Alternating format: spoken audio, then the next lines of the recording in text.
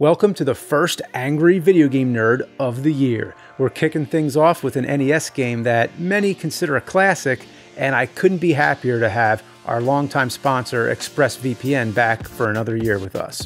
ExpressVPN is the world's number one virtual private network that not only protects my privacy from hackers, but also unlocks unrestricted access to the internet by switching my geolocation. Often I'll watch Netflix for videos on the channel, and without ExpressVPN browsing, it feels like going into a library that keeps all the good books locked away in a restricted section. ExpressVPN bypasses all that and unlocks access to everything on their proverbial shelves.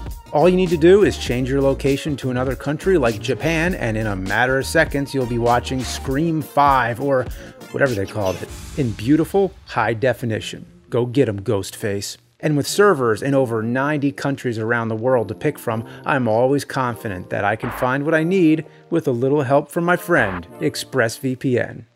Find out how you can get three months of ExpressVPN for free by going to expressvpn.com slash cinemassacre or by clicking the link in the description below. Of all the classic myths of ancient Greece, which would you say is the most remarkable?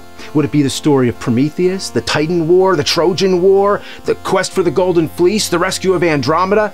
All would be very fine choices, as would be any of the legendary heroes Achilles, Hercules, Perseus, Odysseus. But there is perhaps one that stands out from the rest. It doesn't come from the writings of Plato, Homer, or Sophocles, but from Nintendo in the year 1987 AD not written with ink on papyrus, but as ROM data on a circuit board, not sculpted in marble, but encased in a gray plastic cartridge. The tale in which I speak of is none other than Kid Icarus. I'm gonna take you back. No, I mean way back to the early days of the NES library. Think of it like the family tree of the Greek gods. There was the era of the primordials, followed by the Titans, and then the Olympians. The NES itself had its own primordial age, the black box games as we call them, because they all had that same uniform box art with those distinct pixelated characters that looked just like their in-game counterparts. These games were simpler to play. They were more arcade style, some of them being actual arcade ports like Donkey Kong, Mario Brothers, Kung Fu, and Popeye. Of course, I can't forget Gyromite since that game required a robotic operating buddy. But let's not dwell on that again. But without a doubt, the most prolific game of that launch was Super Mario Bros., which would change the course of gaming history. So let's get into the next era of the NES library, which would be the equivalent of the Titans. This is when the true legends were born, and I do mean legend.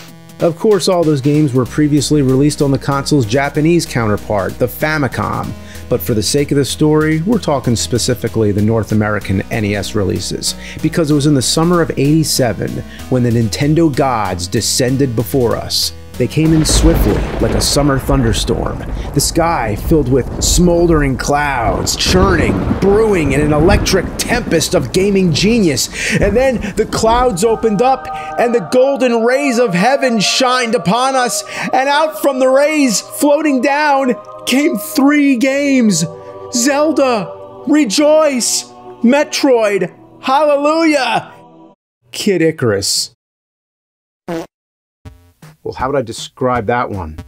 Well, I think the best way to sum it up would be with a very famous quote from the great mathematician, astronomer, inventor Archimedes. In his most famous publication, as he so wisely put it, in those immortal words, fuck it. Yes, in this context, Kid Icarus had a lot to live up to. Is it remembered as an NES classic? Sure, it is but comparably, it was the ugly duckling. Another way I can describe it is if the Nintendo Summer of 87 was a hard rock metal festival and you had all these amazing bands perform like Iron Maiden, Metallica, Guns N' Roses, but the headliner was uh, Nickelback. Just think, after we first popped in Legend of Zelda and first took control of the elf like hero Zelda, oh wait, that's Link. And then we fired up Metroid, playing as the armored suit space warrior, Metroid. Oh, wait, that's Samus. Don't kid yourself. If you're as old as me, be honest. Did you know right away? Didn't you skip those opening prologues and ignore the manuals before you eventually found out the real names? So, with Kid Icarus, the character's name must be Icarus. It's the title of the fucking game. Well, guess what? It's Pit. Yeah. Well, why wasn't the game called Kid Pit? I guess it has sort of a shitty ring to it. We'll make a great movie, Kid Pit, starring Brad Pitt. Well, the original Japanese title translates to Light Myth, Palutena's Mirror. But for whatever reason, they changed it to Kid Icarus. What's the big idea confusing us like that? Those motherfuckers. But not like Oedipus. That guy was the original motherfucker. Anyway, the name Icarus comes from the story of King Minos, who built a labyrinth and put a monster in it called the Minotaur. The idea of labyrinths with monsters has probably influenced more video games than we can even begin to count. Anyway, to build the labyrinth, Minos used an architect by the name of Daedalus, like the Neo Geo Daedalus, which converts your arcade MVS Neo Geo cartridges to play on your AES Neo Geo console. The son of Daedalus was named Icarus, who he crafted a pair of wings for to escape his very own labyrinth that Minos imprisoned them in. The fate of Icarus was rather tragic, as he flew too high to the sun, melted his wings, and fell into the sea. With highs and lows, it's very similar to the fate of this game. It sits on a high pedestal along with all the other highly appraised NES antiques. But has it aged like fine wine? Or has it spoiled into vinegar? Let's uncork this bastard and find out. So the nature of this game is simple. It's a 2D action platformer where you go around shooting enemies while collecting power-ups. Not much to explain. It has only 4 stages, though it's so difficult and grueling it feels more like 50. You're underpowered with a short-range arrow attack. Yeah, Pit sucks, but at least he's not like the hunter Orion. In the classic Greek myth, did you know how Orion was birthed? Do you want to know? Well, okay, Zeus Hermes, and Poseidon urinate onto a bull's hide. They bury it, and out from it spawns Orion.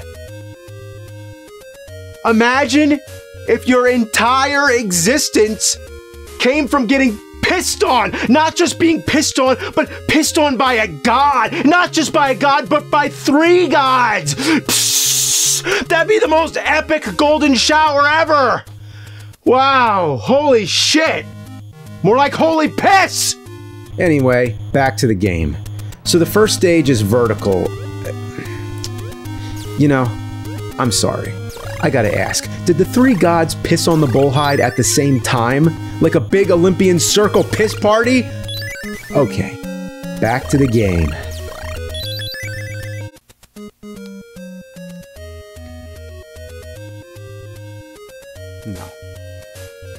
Boy, you don't even want to know about the Egyptian myths. Okay, so Horus and Set are in competition to claim the throne of Egypt.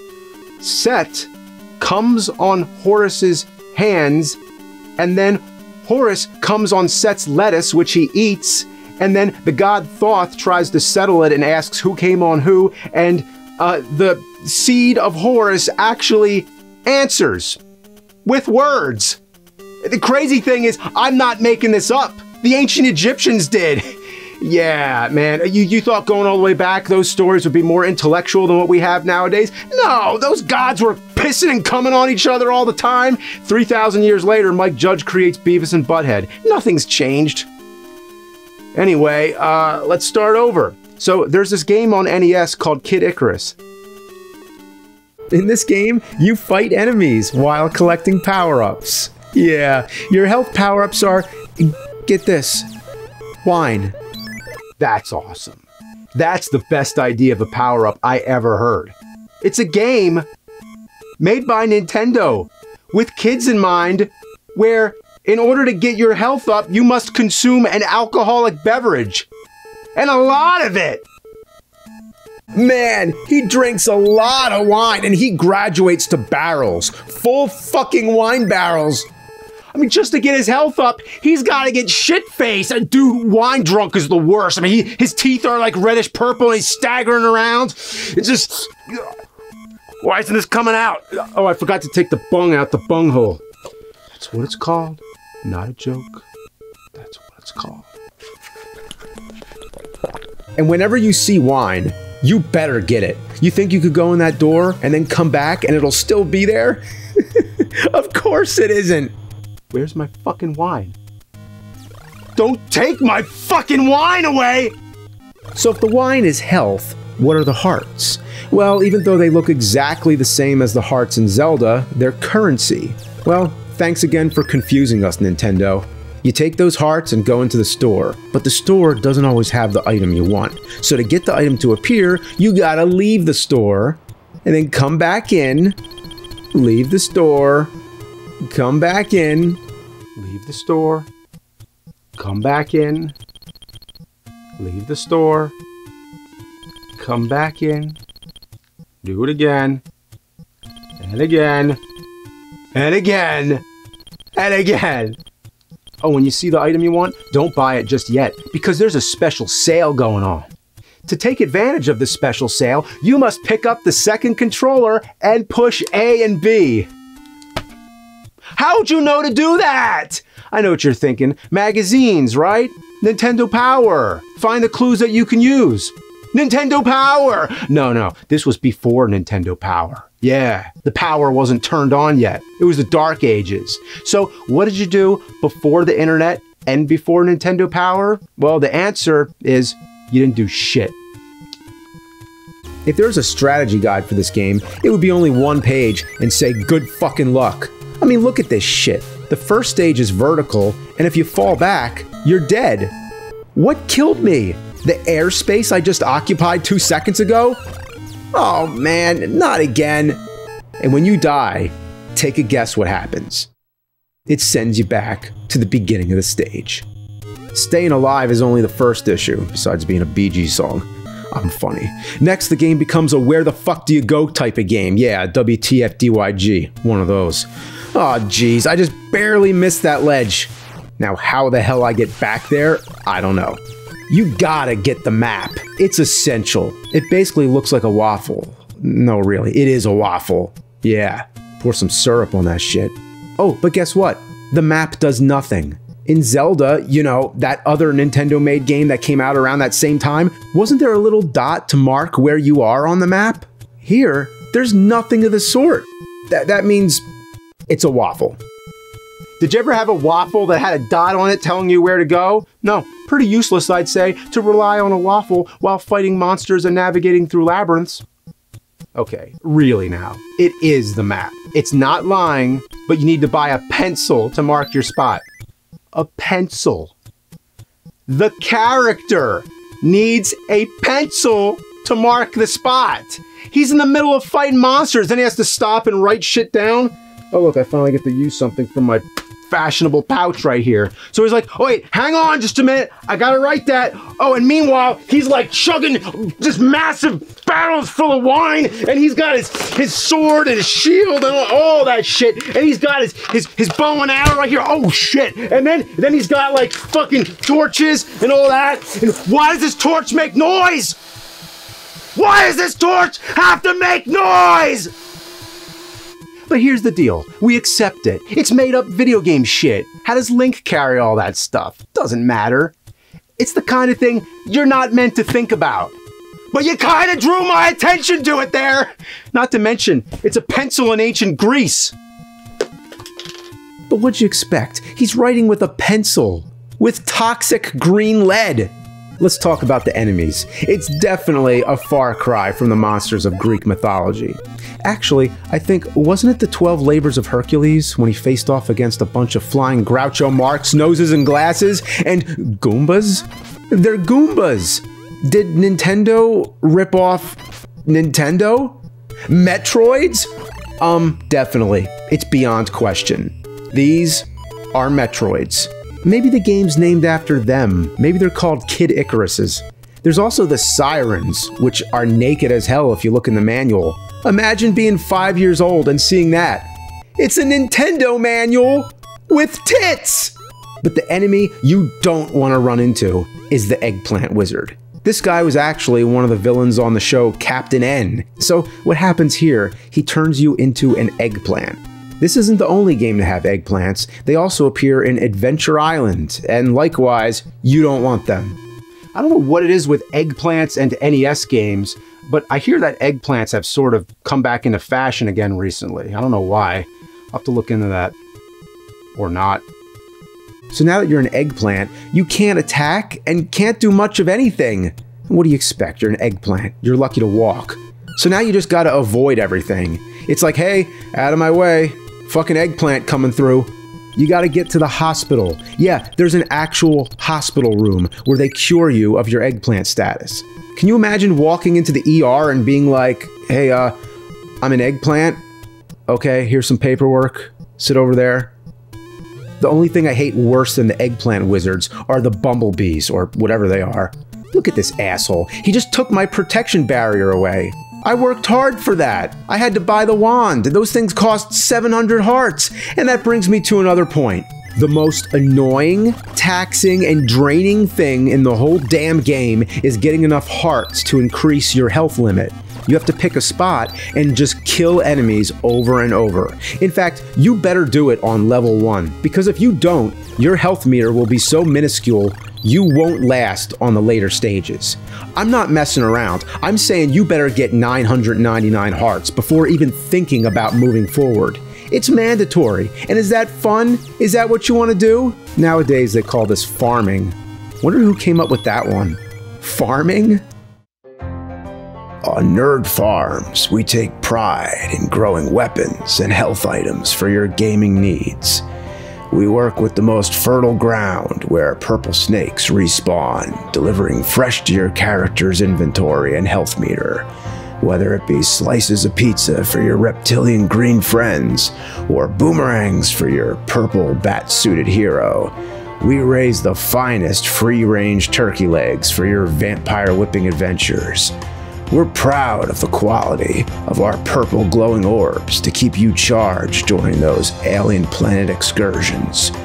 Direct from the land, we make our own blue shimmering capsules for your robot blasting escapades. This ain't just power ups, this is family.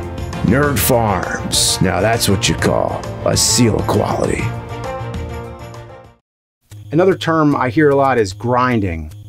You're not getting a skip for that one. A few other random things. The password system goes by the term sacred words.